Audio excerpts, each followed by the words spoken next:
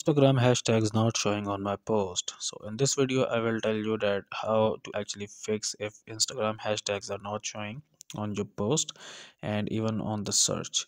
So there are basically two re reasons for that. The first reason is that make sure that your Instagram account is not a private account.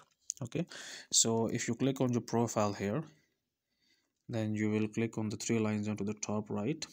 Then you click on settings here and then you click on privacy here. So make sure that, that this private account option is uh, off. It is not on.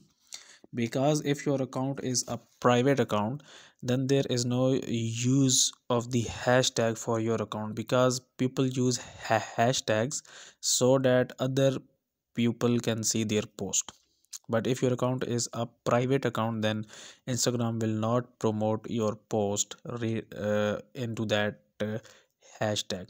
And the other reason that instagram tells itself that if you use like same hashtags in multiple posts then uh, those hashtags will not like usable in your post again. Like in in in short form you have to uh, like use different types of hashtags on your uh, did on your different posts okay uh, so in that way instagram uh, think that you are not spamming.